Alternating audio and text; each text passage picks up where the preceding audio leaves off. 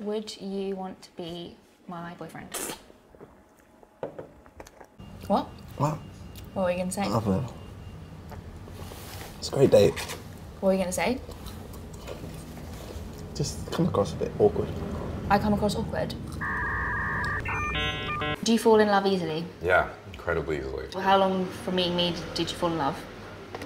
I feel like for you, it, it's still, it's taking a surprisingly long time. Say what?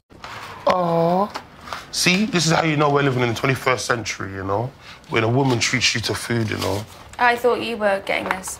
No, no, no. Equal Ops Act 1974. Men and women should be treated as equals in all in all criteria. You asked for it, you got it. Right, yeah, I, I'll pay for it, sure. How big is your bed? Big enough for Me? sleepovers. Mm. Cool. Chips aren't that nice. The nuggets look great. The drink's average, and your face is okay. Please don't kill me. I have a lot to live for. Okay.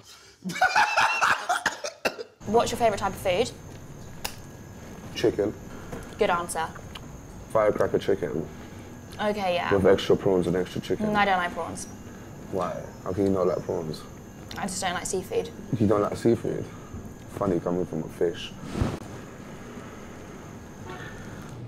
My favourite bar of yours is couple groupies. I'm loving I'm the loving life. the life, but maybe one day I'll, find, the love, of my life. And I found her yesterday. My friend asked me to set you up with him, by the way. Is it Stormzy? No. Um, Should it be?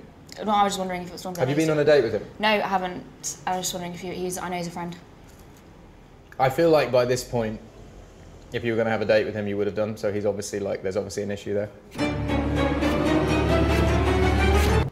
Okay. So do you, do you, do You're so cute and awkward. Okay. Oh, These keys are too small. I can't do this. Maybe your fingers are too fat. Maybe you're too fat. How dare you? You have stolen my dreams and my childhood with your